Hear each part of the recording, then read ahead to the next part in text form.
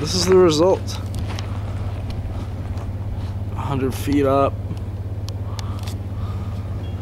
It's the driver, Kyle. Got it going up everywhere. Rocks falling out of the dead end canyon.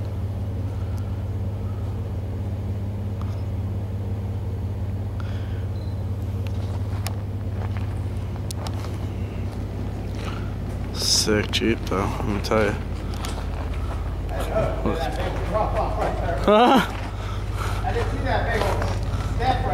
I